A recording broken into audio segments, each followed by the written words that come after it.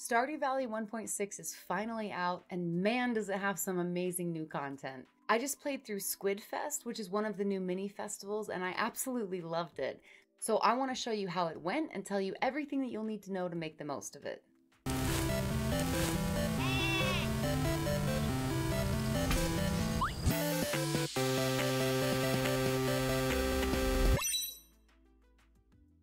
Squid Fest takes place on the 12th and 13th of December from 6:10 a.m. until 2 o'clock in the morning. So you have all of that time to catch as many squid as you can, and based on how many you catch, you can collect certain prizes.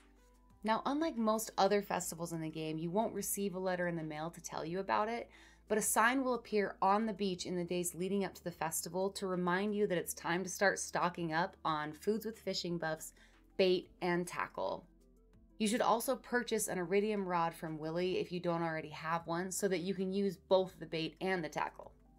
Now, I know it may be tempting to use the cool new challenge bait that came out with the update so that you can try to catch three squid at a time, but I would absolutely not recommend this because the squid are relatively difficult to catch, and I think it's much more likely that you're going to lose the fish altogether than to actually get three of them by pulling off a completely perfect catch with the challenge bait. Squid bait would be a great option if you have a bait maker and a spare squid,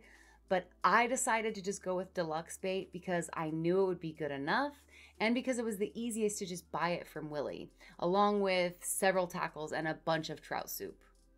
And I just went with the spinner for tackle, but if you want a little more help catching the fish, you could go with the cork bobber to increase the size of the fishing bar or the lead bobber to prevent the fishing bar from bouncing up after it hits the bottom. Squids can be a little bit tricky to catch because their behavior pattern includes these rapid downward drops, and if you chase them too fast with your fishing bar, it will bounce up off the bottom and you'll lose them. So you can try doing a little click right before the bar hits the bottom to slow it down, and if that still isn't working for you, then go ahead and try that lead bobber.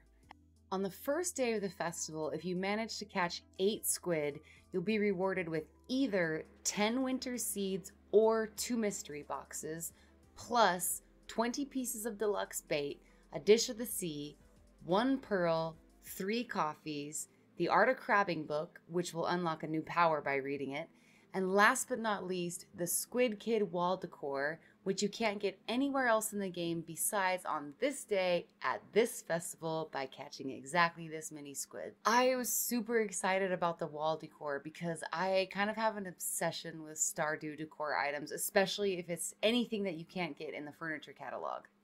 Partway through day two, I was running low on bait, but luckily Willy's shop is open during Squid Fest between 9 a.m. and noon, so you do have the ability to go pick up some more if you need it.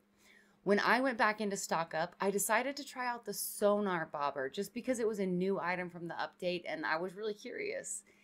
And I ended up loving it because if I saw that the fish was anything besides a squid, I would just instantly let it go, which saved me a lot of time and effort that would have been used catching those other fish.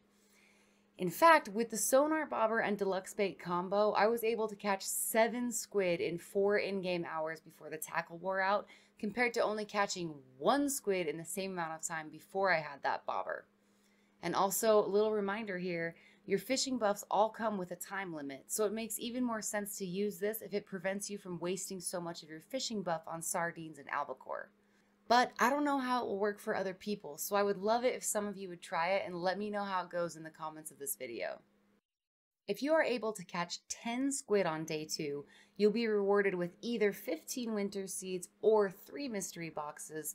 plus a trap bobber, another dish of the sea, a treasure chest, 3 triple shot espressos, 3 mystery boxes, and 1 seafoam pudding, and then my absolute favorite reward from this entire challenge – a squid hat. Isn't it so adorable? Thank you guys so much for watching, and please don't forget to like and subscribe if you want to see more Stardew Valley content.